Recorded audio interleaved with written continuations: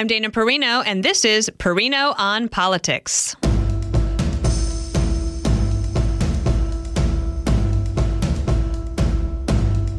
We can officially say we are one week away from the first round of voting in the 2024 presidential election cycle, and Republican candidates have been campaigning hard to try to eclipse the frontrunner who has a very commanding and seemingly enduring lead, and that is former President Trump. Joining me today is a woman who always tells it like it is, a former senior counsel to President Trump and founder of KA Consulting LLC. That's Kellyanne Conway. She's a Fox News contributor a dear friend, someone who was on the Everything Will Be Okay podcast, and probably my favorite episode ever. If you want any great advice, it's all there in a 30 minute conversation. Kellyanne, welcome. Dana, thanks so much for having me today.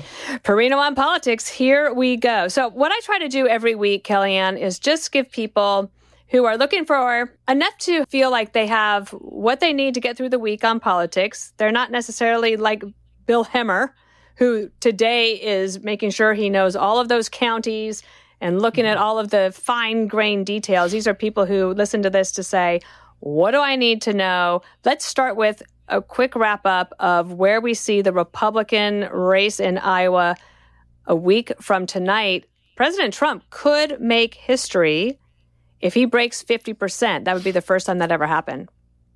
Yes, and Dana, this is a candidate, Donald Trump, who did not win the Iowa caucuses the first time around. Ted Cruz did narrowly. And we have a tradition in Iowa of those who actually win the caucus not going on to win the nomination or indeed the presidency. But it's just so different this time.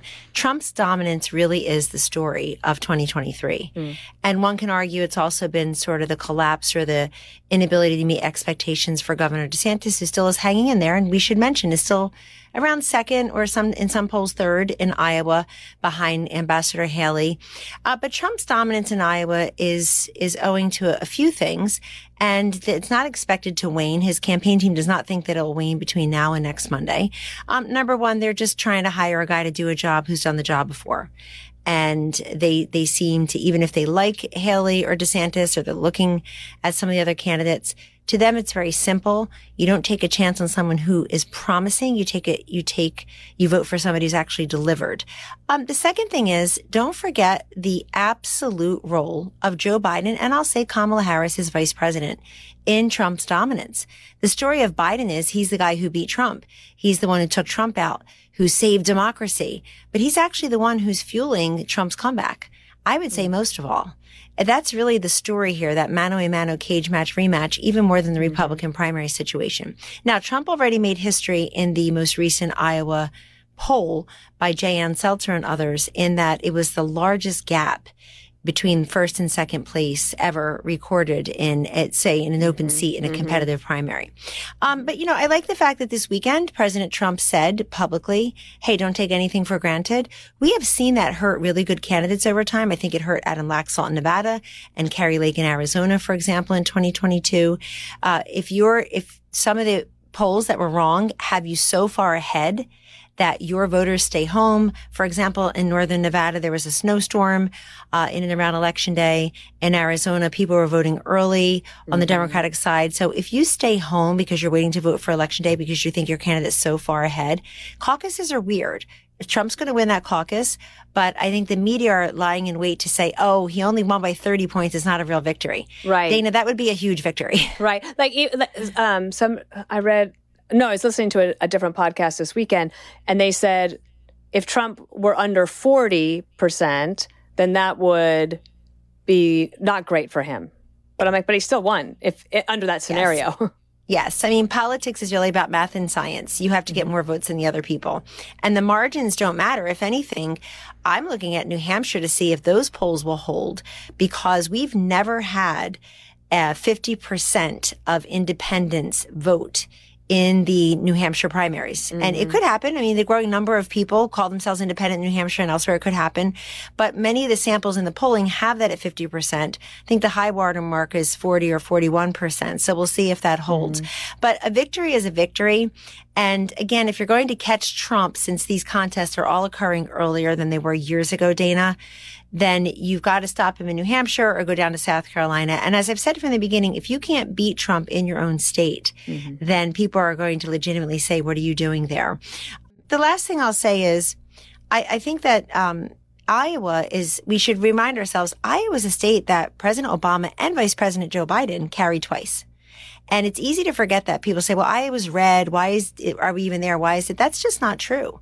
Biden, Obama Biden carried it twice and then Trump turned around and carried it twice. So it really mm-hmm. has flipped. And Dana, may I just mention that Iowa's filled with Republican women in leadership. Governor Kim Reynolds, Senator Joni Ernst, Attorney General Brenna Bird, who I've known for years, and she took on an incumbent who had been there since the 1970s. Hmm. Um, and so I really like what's been happening in Iowa, but this is also to, I guess, Bill Hemmer and Dana Perino's points about demographic changes. You have a very large Hispanic vote in Iowa now, and I think if Trump can show that strength in the caucus, then he carries that over into what I think could be a historic level of support among Hispanics for a non-incumbent Republican mm-hmm. presidential candidate. I want to talk about Biden uh, even more specifically in the second segment. Uh, just one couple more questions on what's happening in Iowa and New Hampshire.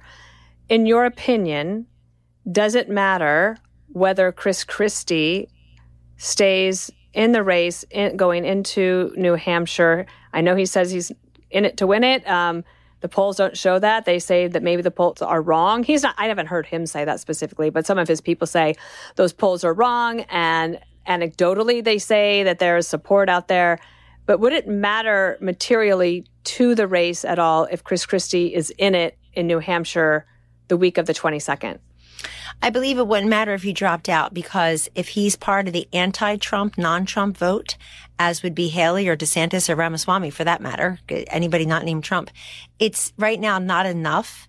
I think to, there's no, there's no evidence that it would 100% go to Nikki Haley and that somehow she can cobble and scaffold together enough to overtake Trump. Um, also, Dana, you know this. If you are in the presidential race, you are in it to win it. And it's not as simple as this poll or that poll. It's not as simple as taking a yellow legal pad and adding up the pluses or minuses to compel you to run or to compel you to stay in a race or not to stay in a race. There's something in your gut. There's something more and bigger usually for candidates. Mm-hmm. And they feel this is why they're running and it's most important. I think Chris Christie, he's been very public about his disappointment in Governor Chris Sununu his friend and and yeah. co-governor when they were serving together thinks that he should have endorsed Chris Christie and not Nikki Haley. But we'll see how much these endorsements matter. Right now, it hasn't mattered in Iowa, mm-hmm. where Governor Reynolds has done a great job. She's a very popular governor. She's done a fantastic job there. In my view, Bob Vander Plaats endorsed uh, Ron DeSantis. And Dana, the other thing I don't think we've covered enough is if Trump, if President Trump can win the Iowa caucuses with a commanding lead, including, if not especially among evangelical Christians. That's probably one of the biggest stories coming out of Iowa because people will say, oh, he's not really, Ron DeSantis is accusing Donald Trump of not truly being pro-life, mm-hmm. which is a terrible thing to say. Um, in my view, they're both pro-life and we should respect that. Uh, Bob Vander Plaats endorsed Ron DeSantis. He has a lot of weight among evangelical Christians. I think it's going to be a big story after 91 counts and four indictments and indictments in four different places. So far. And all the other things so far and all the other things surrounding my former boss and our former president. Um, if in fact he can deliver the evangelical voters in Iowa. Uh, one last quick thing. Uh, last February, you said something to me in a commercial break during a segment when we were on the story with Martha MacCallum. And I think that Ron DeSantis was about to have a big event. And one of the things that uh, was swirling at the at that time was how many big donors were wanting to get behind Ron DeSantis and really push. And in the break, you said you have to remember that the donors don't pick the candidate. and boy, has that just stayed in my mind as an analytical point to just filter through all of this as we've watched the DeSantis campaign over the past year. Maybe just like a, a, last comment on that from you before we go to break. Sure. And in the fullness of the moment, I said, fortunately, in a, in a democracy, in our constitutional republic, the donors don't pick the candidates, the voters do. Mm-hmm. And I appreciate the fact that under the Constitution, we are all equal. One person, one vote. That is sacrosanct. And that is, that is why we should accept uh, election results. That is why we should all participate in them if we so choose. And Dana, um, there's ne- probably never been a more true cycle than this one. I think many of those donors who were for DeSantis have abandoned him and migrated over to Nikki Haley. She had a $27 million final quarter I read in the paper. But when you say things to New Hampshire, it's like, hey, you're here to correct what I was doing or make it sound like I was going to make a mistake by not voting for her, et cetera, and some other things, you know, the, the controversy about slavery and all. Um, it's, you know, that can cost you. We'll see if it, if it costs her dearly. Mm-hmm. And, I mean, look, I, I think that it was always going to be difficult for anyone to run against Donald Trump and not just because right. of his base, but because of his base plus he's going to have more people voting for him this time than before and different people. He'll do better among African Americans. He'll do better among Hispanics. He'll do even better among union households. He'll do better among independents. And again, that's got less to do with Haley and DeSantis and Christine Ramos, has much more to do with Joe Biden, yeah. who is bleeding and hemorrhaging core components of the very delicate, very precarious and now fairly disloyal and disgruntled base of support on which he relied to win in 2020. No one can segue like you. I would add that President Trump is also in the polls winning new voters, voters who have never voted before. That's right. Which is super. And they I may be young, Dana, but they may mm-hmm. be other voters. They may right. be new citizens. And with this outward migration we have all around the country is really fascinating to me. Years ago, me it was. Too you know, for example, among Hispanics, the question was, well, where did you come from? Which country? If you're Cuban, you're probably Republican. If you're mm-hmm. Mexican, you're probably Democratic. And it was, you know, th- those were a bit overgeneralized, of course. but now I'm not as interested in from where they come, but what they're doing now that they're here. Do they have school age children? Do they have grandparents living in the home? Where do they work? Did they start do their they own live? business? What kind of work? That's right. Do they yeah. own their own home, which is yeah. almost one half of Hispanics? Fascinating. Amazing. All right. We'll be right back with more Perino on politics. And we're back with Perino on Politics. Kellyanne Conway is here with us. Let's talk about President Biden. I am so baffled by so many things. um, and one, I saw a, a great tweet over the weekend from somebody who was looking at the new CBS poll. And on immigration, 7% of people polled said everything's fine. And the, the X post said, so the Biden White House takes a look at that and says, let's go with the 7%. that seems like the winning ticket. I just interviewed on America's Newsroom three Iowa voters. They were, each one was supporting a different candidate Trump, DeSantis, Haley. But for the first time since I've been doing these panels for the last several weeks, each one of them, their number one issue was immigration and the border. And that's a thousand miles apart, right? From Texas to Iowa. That's but right. this is affecting everyone. And the White House is so bizarrely inept, or I have to start listening to some people who think they're doing it on purpose. Well, it's one or the other, and neither is a good fact pattern. In fact, the DHS Secretary Alejandro Mayorkas, who's had that job from the very beginning, still won't call it a crisis, Dana, even mm-hmm. though the vast majority of Americans do. And the, politics 101, as you and I know, is we don't tell the voters what's important to them. The voters tell us what's important to yeah. them. And voters are screaming this with neon lights on their heads. That border security and immigration are top issues to them. You know, Dana, eight years after President, after Donald Trump, Mr. Trump elevated this issue into the national consciousness. And as you know, to international ridicule, derision, and criticism, um, it's a top issue. And this is a man-made crisis at the border now. People know they they know what they see. Fox's Bill Melugin has done an unbelievable job, mm-hmm. as have others at the border, just by putting the cameras on and leaving the cameras on so you can judge for yourself. If you're a voter, if you're one of those suburban moms and the Democrats are telling you it's all about abortion, it's always January 6th, it's all about climate change, and you just look up anywhere, including on CBS now and in their polling, and you just see untold numbers of people coming across the border.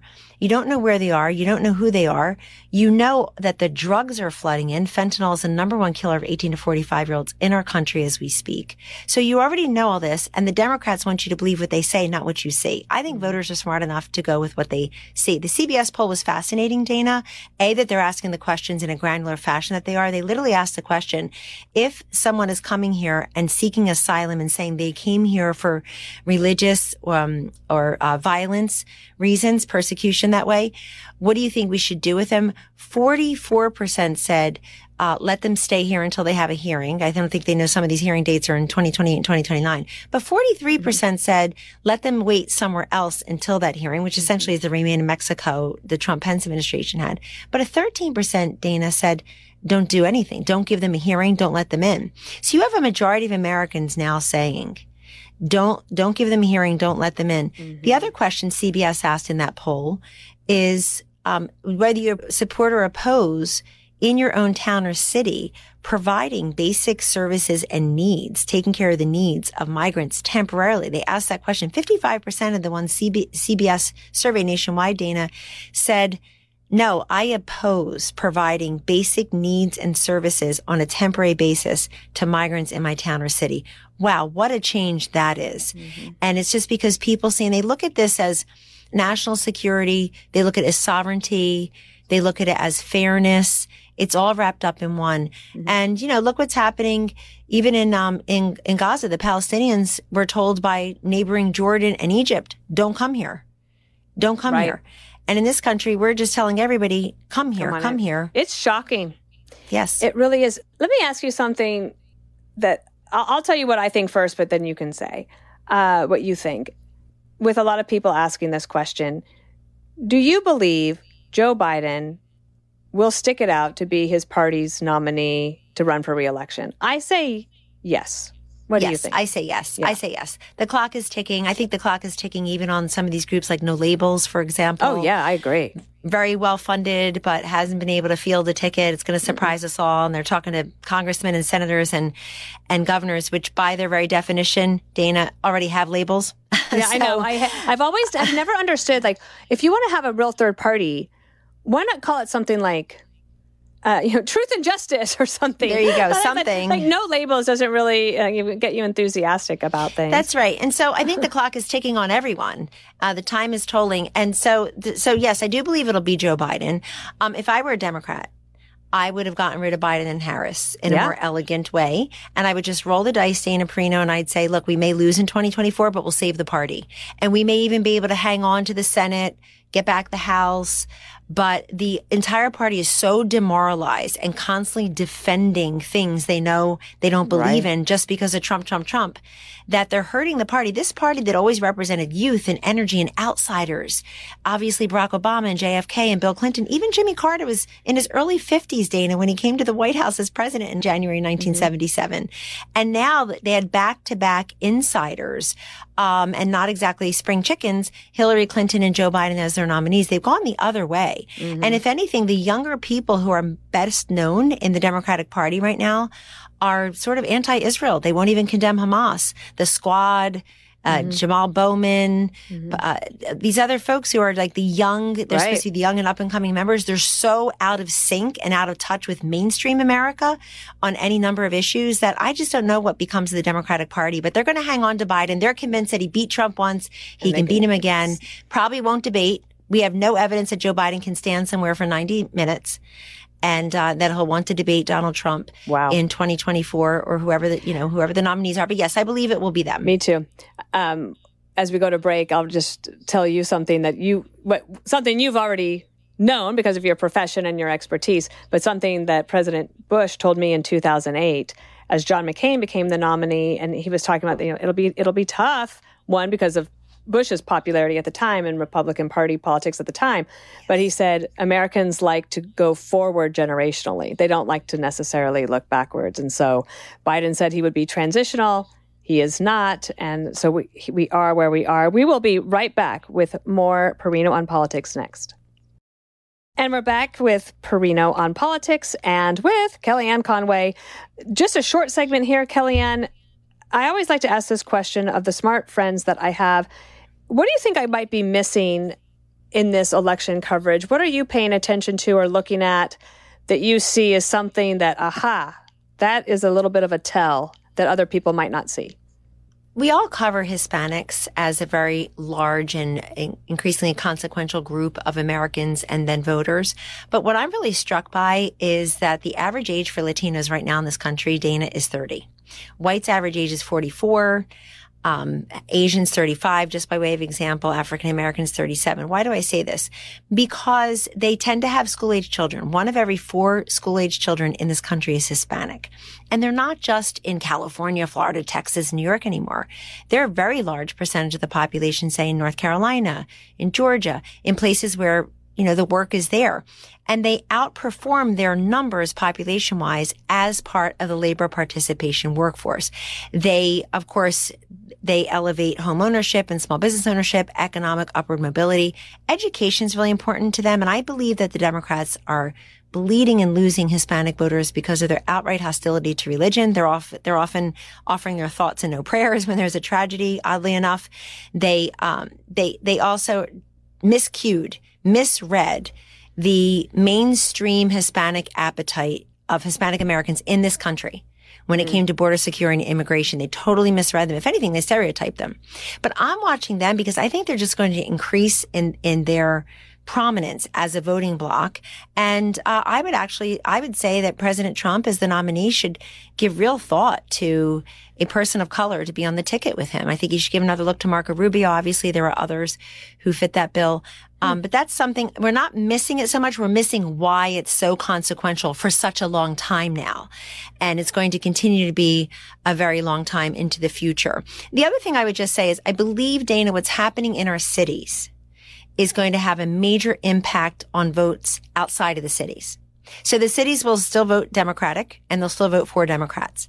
But the people watching what's happening in our cities and not wanting their kids to apply to college there or move there for work, who no longer want to go to dinner or see a show there, who just yep. say, you know what? I, I think that's just going to reverberate outward into the suburbs and the rural communities in a way that we haven't seriously appreciated yet. So usually you're the direct stakeholder, right? You live in the cities, you're going to vote according to the cities. I think it's people watching what's happening there who don't live anywhere near there who are going to have that very prominently in their voter quiver. It's really true about not wanting to, you know, risk your safety pay the money, go in for parking. And so, you know, I hear it even from like my mom in Denver. Uh, you know, it's not just New York, Los Angeles, Chicago. It is all the cities, St. Louis, some of the mid, mid-sized cities yes. as well having that problem. Kellyanne, before I let you go, we have a little quiz. It's very easy though. There's three possible topics. You get to choose which one, and then it's multiple choice. Uh, we have Dana's Book Club, Candidate LinkedIn, or Dana Reads Sports. Oh, Dana reads sports. okay, sure. we'll see. So, this sportscaster, known for calling the World Series from 1996 to 2021, guest hosted Jeopardy in August of 2021. The choices are A. Joe Buck, B. Joe Girardi, or C. Paul O'Neill. Joe Buck. You know everything. And well, that's I'm why we love fan, you. And I'm a big sports fan. I know and you Paul, are. Paul hey. O'Neill was on the Yankees, and Joe Girardi was their was their manager and then went over to the Philadelphia Phillies. So it had to be Joe Buck. I did feel for you, frankly, when I was watching the New York Giants oh, Eagles yes. game. Eagles but you wore your apart. green anyway, and I, I got it anyway. That. You got to be loyal. They'll break your heart every time. I, I, tell my kids, that. Dana. I tell my kid, my four teenagers, what everyone tells their kids, and kids who are important to them, who they're helping to raise. I say, you can be who you want, love who you want, go do what you want, make your own mistakes, make your own successes. But to remain in this family, you must be a Philadelphia Eagles fan, and they see what heartbreak really means. I am going to keep that in mind, and I'm going to come to dinner one of these days, and I would love Can't to wait. love to do that. I want to get to know you. You. Um, even more because you're a fabulous person. Thank you for being on Perino on Politics. Perino on Politics, Dana for dinner. We love it all. all right, Everything's going to be all right. Bye-bye. Take care. Bye bye. Listen ad free with a Fox News Podcast Plus subscription on Apple Podcasts, and Amazon Prime members can listen to this show ad free on the Amazon Music app.